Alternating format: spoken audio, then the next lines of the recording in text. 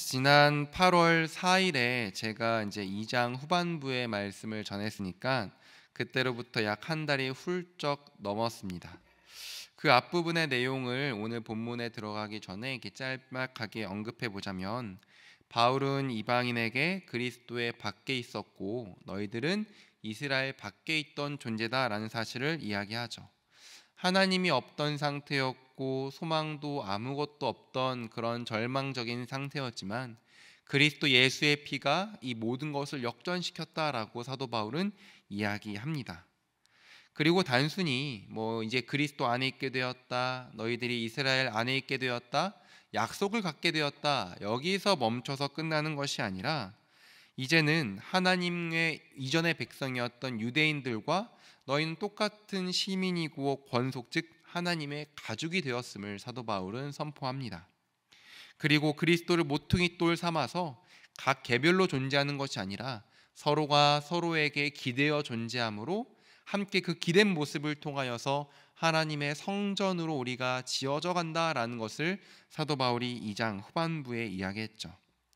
이제 사도 바울은 3장을 통해서 하나님의 경륜, 그리스도의 비밀에 관해서 이야기하고 또한 자기 자신은 이것을 위하여서 복음의 일꾼이 되었다라고 소개하고 있습니다. 이제 제가 이제 에베소 1장을 처음 설교하면서 그때 몇 가지 서론에 관해서 이야기했는데 그때가 올해 1월 달이니까 이제 8개월 정도가 지나서 그 중에 몇 가지를 다시 한번 설명하고자 합니다. 먼저 에베소서는 옥중 서신이죠. 사도 바울이 로마 로마의 감옥에 갇혀 있을 때 기록한 편지가 바로 이 에베소서입니다. 사도행전의 기록에 의하면 사도 바울은 에베소에서 약 3년의 시간을 머물면서 복음을 전하고 또한 교회를 세우고 사람들을 가르쳤습니다.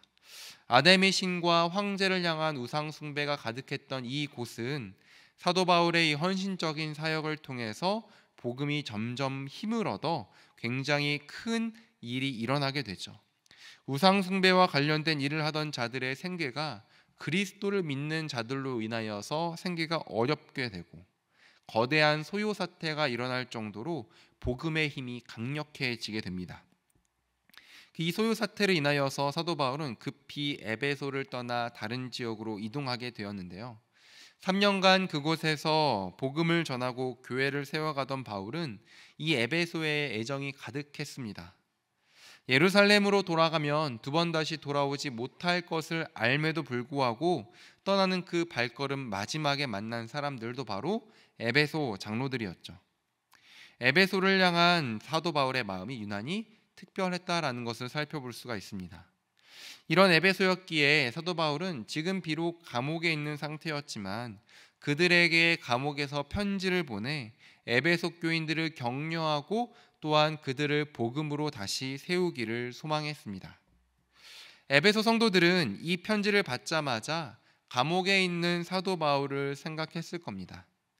로마 황제에게 상소하여서 재판받는 중에 있었고 또한 이로 인하여서 로마 감옥에 갇혀 힘겨운 시간을 보내는 바울을 아마 에베소 교인들을 이 편지를 받자마자 떠올렸을 것이죠. 그러나 사도 바울은 3장 1절에서 이렇게 이야기합니다. 다 같이 함께 3장 1절의 말씀 한번 읽어보도록 하겠습니다. 시작. 이러므로 그리스도 예수의 일로 너희 이방인을 위하여 갇힌 자 된 나 바울이 말하거니와. 아멘. 1절의 말씀을 보면 그리스도 예수의 일로 너희 이방인을 위하여 갇힌 자 된 나 바울이라고 소개합니다. 이 부분을 좀 원문에 맞게 다시 한번 좀 의역해서 이야기하면 너희 이방인을 위하여 그리스도 예수의 죄수된 바울입니다.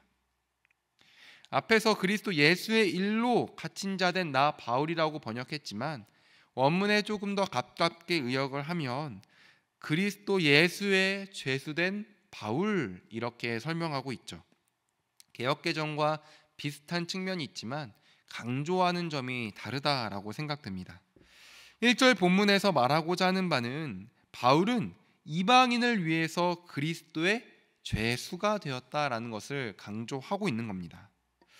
자, 앞서 제가 이 에베소서가 어디에서 기록된 서신이라고 했죠?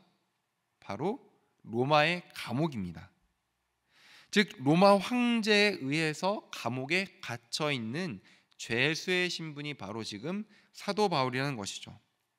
그리고 예배소 성도들은 바울이 이 감옥에 있다는 것을 모두 다 알고 있었습니다. 그러나 바울은 말하는 겁니다. 자기 자신은 로마 황제의 죄수가 아니라 그리스도 예수에게 속한 죄수다라고 이야기하고 있는 것이죠. 비록 많은 사람들이 사도 바울을 향해서 부른 호칭은 너는 로마가 만든 법에 의해 너는 로마 황제에 의해 지금 감옥에 갇혀 있는 신분이다라고 말하지만 사도 바울은 자기 자신은 그리스도 예수의 통치 안에 있는 그리스도에게 속한 죄수라고 지금 이야기하고 있는 것입니다. 그런데 우리가 곰곰이 생각해 보면 바울이 지금 왜 로마 감옥에 갇혀 있나요? 바울이 황제에게 상소하는 바람에 로마에 압송되어서 지금 감옥에 갇혀 있는 것입니다. 그리고 그 상소는 사도행전에 의하면 대제사장 아나니아의 고발에서부터 시작되죠. 대제사장의 고발은 지금 전국에 흩어져 있는 유대인을 소유하게 하는 나사렛 이단의 우두머리다라는 내용이 바로 고발의 내용이었습니다. 즉 이방인과 유대인에게 복음을 전하고 예수 그리스도의 피로 그 모두가 하나님의 자녀가 되었다라는 사실을 전하는 바람에 유대인들 사이에서 지금 소요가 일어났다, 혼란이 일어났다라는 것이 사도 바울을 고발한 이야기였고 궁극적으로는 지금 바울이 로마 감옥에 갇혀 있는 이유가 되는 것이죠. 그러니까 결과적으로 보면 사도 바울이 3장 1절에서 이방인을 위하여서 그리스도 예수께 속한 죄수가 되었다라고 말하는 것이 옳은 표현인 겁니다. 그리스도의 복음을 이방인에게 전하다가 로마 감옥에 갇혀 있는 사도 바울. 그러나 예나 지금이나 갇혀 있거나 자유자이거나 여전히 그는 그리스도에게 속한 사람입니다. 감옥에 있거나 예루살렘 공에 있거나 아니면 이방인들에게 전도 여행을 다니면서 복음을 전하거나 그 어디 있든지 간에 사도 바울의 정체성은 그리스도에게 속한 사람, 그리스도의 통치 안에 있는 사람, 죄수의 신분이 나를 규정하는 것이 아니라 로마의 법이 나를 죄수라고 말할지라도 나는 그리스도에게 속한 사람이다라는 것이 사도 바울의 정체성이었죠. 그리고 이것이 바로 우리의 정체성입니다. 이어서 말씀을 보면 그리스도의 통치 안에 있는 이 죄수 바울은 2절에서 그가 이방인들을 위해서 했던 특별한 한 임무에 대해서 언급을 합니다. 사도 바울은 2절에서 이렇게 말합니다. 너희를 위하여 내게 주신 하나님의 그 은혜의 경륜을 너희가 들었을 터이라. 2절을 통해 우리가 알 수 있는 사실이 한 가지 있는데 그것은 무엇이냐면 하나님께서 바울에게 이방인을 위해서 은혜의 경륜을 주셨다라는 것이죠. 그리고 그것이 무엇인지는 정확하게 알 수는 없지만 하나님께서 바울에게 주신 그 은혜의 경륜을 에베소 성도들 즉 이방인들이 들었다라고 사도 바울은 2절에서 이야기합니다. 여기서 우리가 한 가지 좀 단어를 좀 살펴봐야 되는데요. 그 단어는 바로 경륜이라는 단어입니다. 이 단어는 앞서 에베소상 1절 1장 9절에서도 동일하게 사용된 단어인데요. 그때 그리스도 안에서 때가 찬 경륜을 위하여 예정하신 것이니라고 언급할 때 사용되었습니다. 그리고 이 의미에 대해서 1장 10절에서 사도 바울은 경륜은 이것이다 라면서 이야기하고 있죠. 다 같이 함께 에베소 1장 10절의 말씀을 읽어보도록 하겠습니다. 시작. 하늘에 있는 것이나 땅에 있는 것이 다 그리스도 안에서 통일되게 하려 하심이라. 그리스도 안에서 마침내 때가 찬 경륜은 곧 하나님께서 하늘과 땅에 있는 모든 것을 그리스도 안에서 하나가 되게 하신 그 통일된 사건이 바로 경륜이다라고 사도 바울은 소개하고 있는 것이죠. 즉 하나님께서 바울에게 주신 바로 그 은혜의 경륜은 이방인과 유대인들이 하나가 되었다라는 것입니다. 그리고 이 하나됨을 알리고 전할 것을 사도 바울에게 사명으로 주셨고 바울은 과거 3년의 시간 동안 에베소 지역에서 열심히 복음을 전하고 교회를 세운 것이 바로 이 하나님의 경륜을 전한 것이다라는 것이죠. 자, 그런데 여기서 중요한 것은 사도 바울이 유대인과 이방인을 하나가 되게 하려는 것이 하나님의 경륜이었다. 그리고 이 경륜을 이야기하는 것이 사도 바울 자신에게 있어서 은혜라는 것입니다. 우리가 요즘 은혜라는 단어를 너무 자주 듣기도 하고 또한 많이 사용하기도 합니다. 그래서 그 은혜가 주는 그 감격과 깊이와 풍성함이 다소 무뎌질 수 있다라고 생각이 됩니다. 바울에게 있어서는 그 은혜라는 단어는 그냥 단순히 우리가 일상 가운데서 아 은혜롭 은혜롭네요. 뭐 은혜롭게 하세요. 모든 것이 다 은혜입니다. 아 은혜 받았습니다.라고 그렇게 말하는 차원이 아닙니다. 사도 바울이 말하는 그 은혜라는 것은 그가 매를 맞아도 감옥에 가도 때로는 비천함에 처하도 또한 쫓겨남에 처하도 이 모든 것을 기쁨과 감사함으로 견딜 수 있는 이유가 바로 은혜였습니다. 우리가 잘 알다시피 사도 바울은 예수님을 만나기 전에 유대 최고의 엘리트였죠. 혈통, 가방끈, 율법에 대한 열심, 그 어느 것 하나 빠지지 않고 유대 최고 엘리트로 가는 것을 낙첨해놨던 사람입니다. 하나님의 진정한 백성은 오직 유대인뿐이며 하나님께서 주신 율법은 유대인으로 살아가는 삶의 사도 바울의 유일한 삶의 기준이자 목적이 되었습니다. 고집스러운 사람은 그 작은 고집도 바꾸기 힘들다고 하는데 평생을 유대교에 열심을 내며 살았던 사도 바울이었습니다. 그가 쉽게 변하겠습니까? 그래서 스테반이 죽는 것이 그리스도인을 잡아다가 죽이고 감옥에 가두는 것이 또한 교회를 진멸하는 것이 율법에 열심히 있던 사도 바울에게는 당연한 것이었습니다. 그것이 기쁨이었던 것이 사도 바울입니다. 그랬던 바울에게 부활의 그리스도께서 나타나셨고 진짜 하나님의 뜻과 계획이 무엇인지 율법의 완성이 진짜로 무엇인지 사도 바울이 평생에 무엇을 추구하며 살아야 되고 어떻게 구원을 받아야 되는지를 알려준 것이 바로 그 은혜였습니다. 그런 그에게 은혜라는 단어는 죄인이지만 갇혀 있지만 하나님의 경륜을 전하는 자로 넉넉히 살아갈 수 있는 삶의 모든 힘과 원천이었던 것이죠. 은혜라는 단어, 은혜라는 단어를 우리가 뭐 일상에서 많이 사용한다고 해서 그 귀함과 감격을 절대로 잃어버리면 안 되는 것입니다. 우리가 성도로 부름받은 것, 하나님께서 나와 같은 자에게 그리스도 안에서 자녀됨의 권세를 허락하시고 나아가 우리를 혼자가 아닌 공동체를 부르시고 서로가 서로를 위해서 기도할 수 있는 존재로 만드신 것, 이 모든 것이 하나님의 은혜 없이는 이루어질 수 있는 것이 아무것도 없습니다. 그렇기에 사도 바울이 그리스도 안에서 모든 것이 하나님 하나됨을 하나님의 은혜라고 고백하고 또 자기 자신이 그 하나됨을 전하는 도구로 사용됨을 은혜라고 이야기하는 것이 우리 모두에게 동일하게 큰 감격으로 다가오길 소망합니다. 그 은혜라는 감격, 사도 바울이 느끼고 고백하고 있는 그 은혜라는 감격이 우리 삶 가운데서 매 순간순간 동일하게 풍성하게 샘솟기를 간절히 소망합니다. 이어서 말씀을 보면 사도 바울은 3절과 4절에서 자신이 알게 된 그 비밀에 대해서 두 번에 걸쳐서 언급하고 있습니다. 그리고 그 비밀은 사도 바울은 그리스도의 비밀이다라고 소개하고 있죠.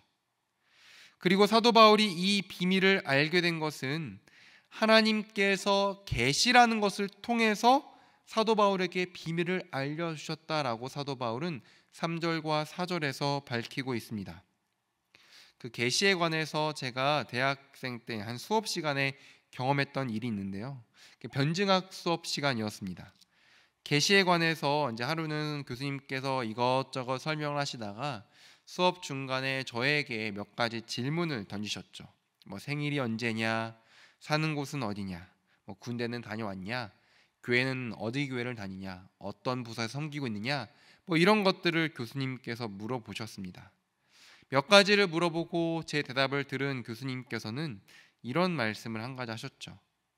본인과 이 공간에서 저를 평소에 알고 있던 사람들을 제외하고 저를 모르고 있던 사람은 제가 방금 대답한 거에만 의존해서 나를 알 수 있다. 내가 대답하지 않은 것을 넘어서는 나를 알 수 없다라고 말씀하시면서 하나님께서는 우리에게 스스로 알, 우리에게 그분은 스스로 알려주신 만큼만 우리는 하나님을 알 수 있는 것이다라는 것을 설명하셨던, 설명하셨던 적이 있습니다. 맞는 말입니다. 우리는 하나님께서 그 스스로를 보여주신 만큼만 하나님을 알 수 있습니다. 계시라는 단어는 나타내다, 비치다라는 단어인데 하나님께서는 우리에게 하나님을 스스로 나타낸 만큼 우리에게 비춰주신 만큼만 우리는 하나님을 알 수가 있습니다.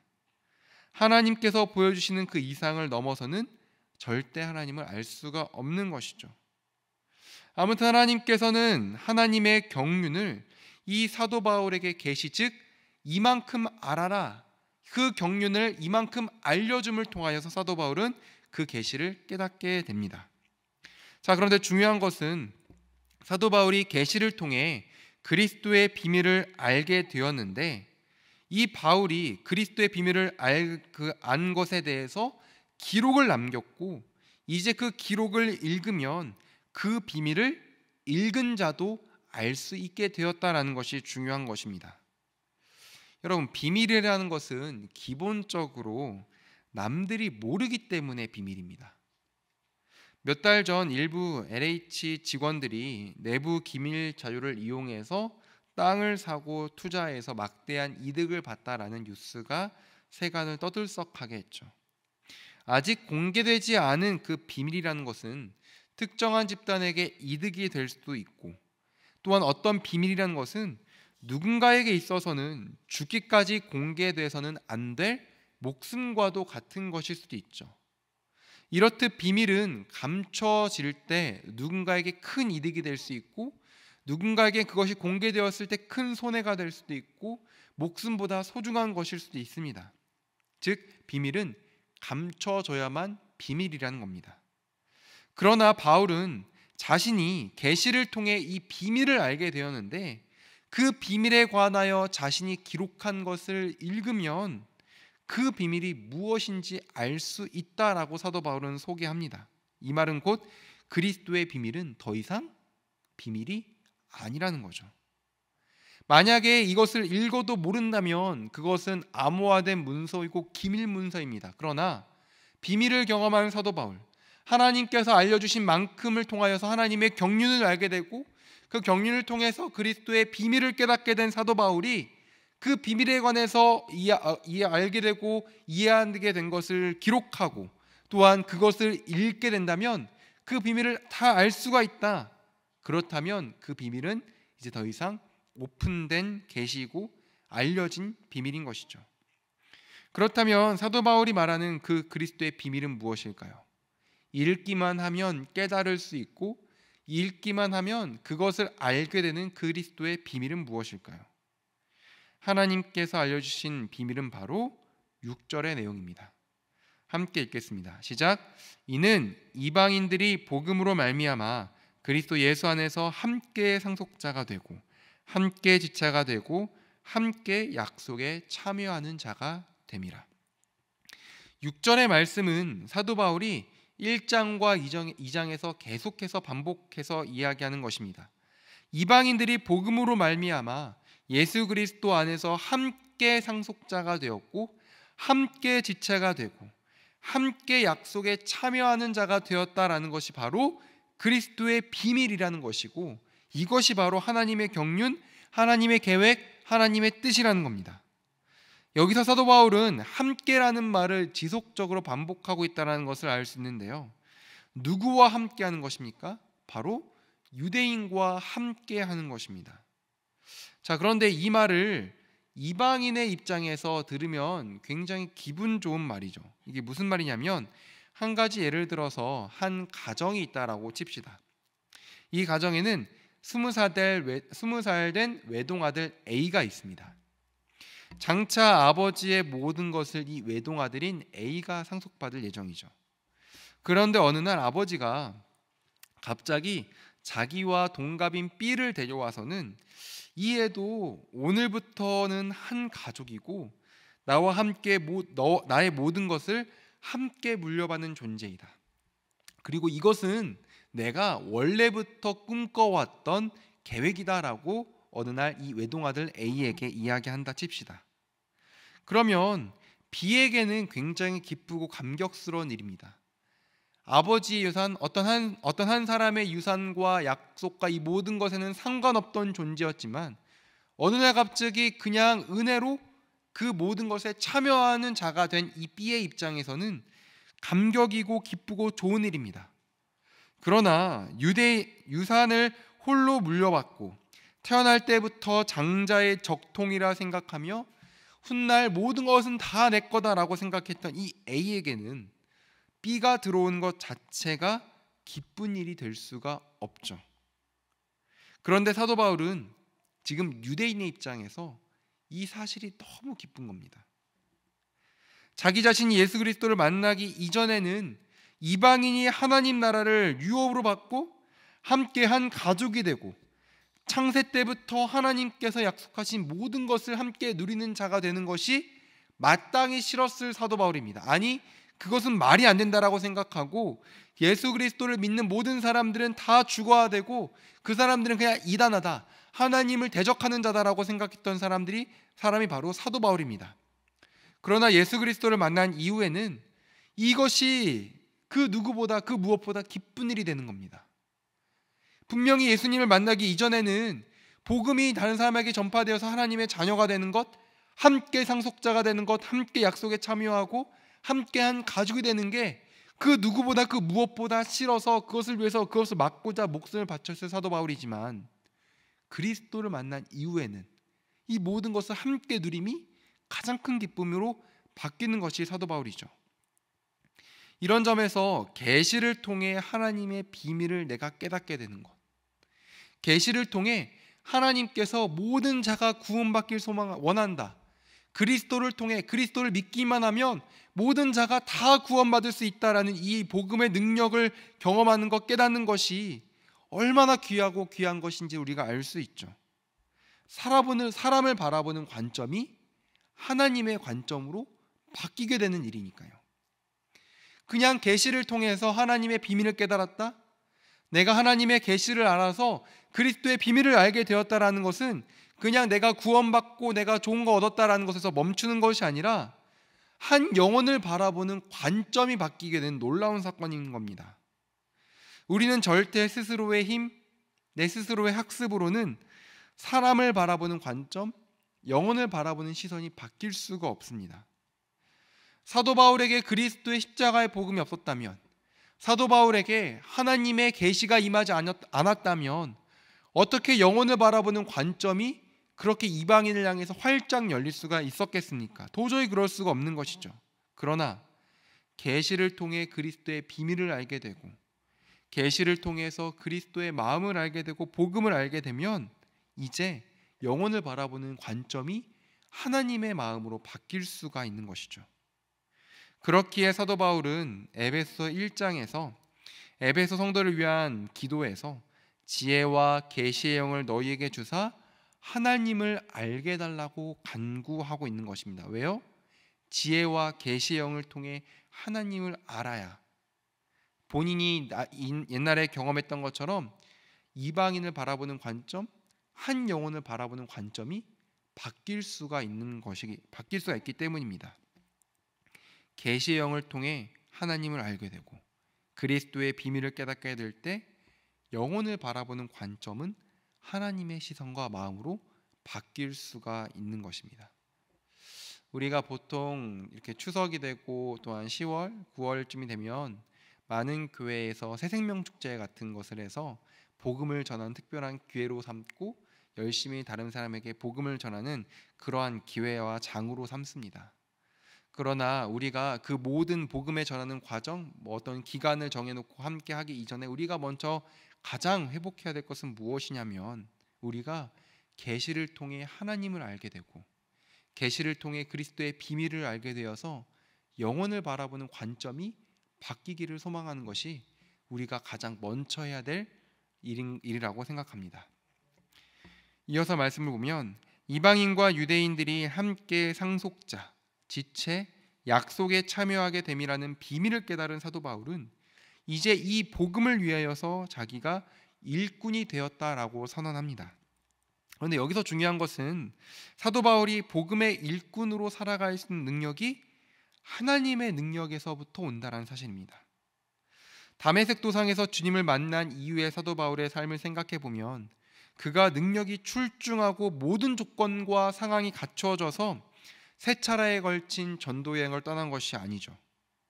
물론 사도 바울의 개인의 언어적인 능력은 탁월합니다. 로마의 시민권이라는 남들이 부러워할 만한 자격도 갖췄습니다. 그러나 바울은 자기가 논리적인 능력이 있고 여러 언어를 구사하고 로마의 시민권을 갖고 있다고 해서 그리스도의 비밀을 전파할 수 있었던 것이다. 아, 어, 그리스도의 비밀을 전파할 수 있었다라고 말하지 않습니다. 그는 빌립보서 4장 13절에서 이렇게 말합니다. 다 같이 함께 함께 말씀을 읽어 보도록 하겠습니다. 시작. 내게 능력 주시는 자 안에서 내가 모든 것을 할 수 있느니라. 아멘. 복음을 전할 수 있는 능력이 하나님으로부터 오니까. 지금 당장 유대인들은 이방인이 하나님의 자녀가 되었다라는 것을 거부하고 그 고발과 고소 때문에 자기가 지금 감옥에 있을지라도 그 능력이 역사함을 따라 나는 복음의 일꾼이 되었다라고 사도 바울은 이야기하고 있는 것이죠. 그런 점에서 우리가 하나님의 일을 할 수 있는 것, 아직 믿지 않는 자, 믿음 연약한 자, 어려움에 처한 자들에게 복음을 전하고 그들이 우리와 함께 상속자가 됨을 기뻐하게 되는 이 모든 과정은 오직 그 능력이 나에게 역사함, 그분의 능력이 나를 통해 역사함에 가능하다는 것입니다. 바울도 그렇겠지만 저의 삶을 돌아보면 자, 제가 어떻게 내가 어떻게 목회자가 되었지라는 것이 그 설명이 안 됩니다. 그 몇주 전에 교육자 모임 때 설교자로서 자신의 장단점에 대해서 한번 나누는 시간이 있었는데요. 하나부터 열까지 단점만 생각나고 장점이 생각나지 않습니다. 가면 갈수록 말씀을 전하는 게 더 힘들어집니다. 오히려 사역을 하지 않고 신대원은 가기 전 학부에 있을 때는 할 수 있을 거라 생각했습니다. 그러나 점점 가면 갈수록 아, 이거 어떻게 평생 말씀을 전하고 살지? 야 이거 이 말씀 어떻게 평생 이거 말씀 연구하고 이거 풀어서 전하면 이거 어떻게 살아가지? 단점밖에 보이지 않고 자신이 없습니다. 그러나 사도 바울이 7절에서 말한 대로 하나님께서 저를 목회자로 부르시고 또한 함께 예배드리는 우리 공동체를 각자의 자리에서 각자의 직분에 맞게 교회를 섬기는 자, 하나님의 나라를 섬기는 자로 세운 것은 우리 모두를 복음의 일꾼으로 세우신 그 능력을 주신 하나님에 있습니다.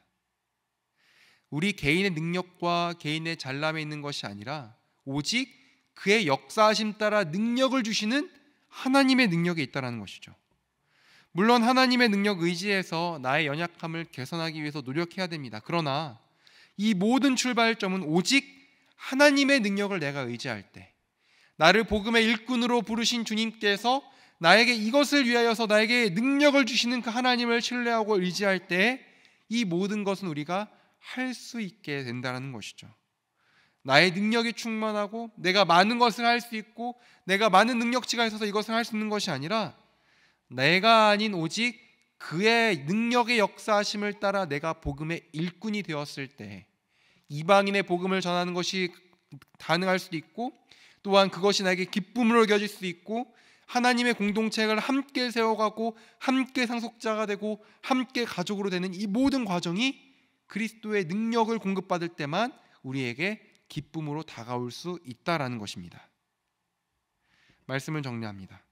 오늘 바울은 3장의 말씀을 통해서 하나님께서 계시를 통해 알려 주신 그 비밀이 이방인들이 복음으로 함께 상속자가 되고 함께 지체가 되고 함께 약속에 참여하는 자가 되었음을 강조했습니다. 지금 비록 바울은 감옥에 있을지라도 그리스도와 예수 안에 있는 죄수가 되어 그 은혜 때문에 이 모든 것을 넉넉히 감당할 수 있다. 이것은 바로 그 은혜의 경륜이다라고 사도 바울은 이야기하고 있습니다. 그리고 이 모든 것을 함에 있어서 또한 이것을 이것을 전함에 있어서 그 이전에는 분명히 이방인들에게는 복음이 전해질 수 없다라고 생각했지만 그 복음을 통하여서 그 복음을 통하여서 이제는 영혼을 바라보는 관점이 바뀌게 되고 이 관점을 통하여서 내가 복음의 일꾼이 된 것은 모두 다 하나님께서 주신 능력으로 가능함을 사도 바울은 이야기했습니다. 마찬가지로 우리가 이 땅 가운데 살아가면서 복음을 전할 때 혹은 누군가에게 우리가 하나님의 말씀을 전하고 그들을 위로하고 아 정말 이 사람도 구원받을 수 있을까라는 생각을 가지고 있을 때 우리는 이방인에게 복음이 전해져서 하나님의 한 가족 함께한 상속자가 되었음을 사도 바울이 경험했던 것처럼 그 은혜를 통하여서 그 계시를 통하여서 비밀의 경륜 비밀을 깨달을 때 이 모든 것은 우리가 가능할 수 있게 되는 것입니다. 또한 이 모든 것을 가능하게 하는 힘은 나에게 있는 것이 아니라 오직 그의 능력의 역사하심을 따라서 우리가 가능하게 되는 것입니다.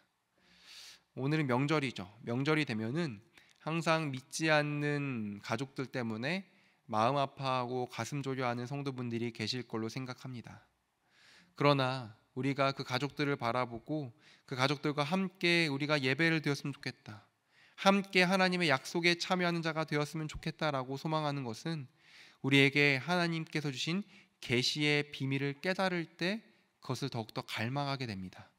또한 그 갈망을 놓고 기도할 때 하나님께서 능력 주셨을 때 이 모든 것이 가능하게 된다라고 우리는 고백할 수 있습니다. 가족의 구원을 위하여서 혹은 믿지 않는 어떤 대상을 위해서 기도할 때 나는 복음의 일꾼이다. 하나님의 하나님께서 능력 주셔서 그 능력을 통하여서 나는 복음의 일꾼이 될 수 있다. 이 복음의 일꾼을 되기 위하여서 하나님의 능력을 더욱더 의지하고 또한 믿지 않는 자가 하나님 안에서 함께한 상속자가 됨을 기뻐하길 소망하며 나아가는 우리 모두가 되기를 소망합니다. 기도하겠습니다. 하나님 아버지 은혜를 감사합니다. 오늘 사도 바울은 하나님께서 허락하신 계시를 통하여서 그리스도의 비밀을 깨달았고 그 비밀을 통하여서 이방인들이 함께 예배자가 됨이 얼마나 기쁜 것인지를 마음 가운데 고백하였습니다. 또 하나님 아버지 이 모든 것을 감당함에 있어서 우리는 복음의 일꾼인데 이것을 오직 하나님의 능력으로만 가능하게 됨을 사도 바울은 고백했습니다. 하나님 아버지 주님의 복음의 일꾼이 되고 또한 영혼을 바라보는 관점이 바뀌고 또한 이방인 또 믿지 않는 자가 함께 한 상속자가 되는 그 기쁨을 누릴 수 있는 것은 오직 주님의 은혜로만 가능합니다. 또한 이 모든 것이 가능케 됨은 하나님의 능력으로만 가능합니다. 하나님 아버지 우리가 더욱더 주님께 엎드려 능력을 구함으로써 하나님께로부터는 능력을 구함으로써 우리가 믿지 않는 자들에게 복음을 전할 때 더욱더 큰 기쁨과 감격 넘칠 수 있도록 도와주시고 이 모든 것이 오직 주님의 능력으로만 가능함을 고백할 수 있도록 인도하여 주옵소서. 우리 구원하신 예수님의 이름으로 기도드립니다. 아멘.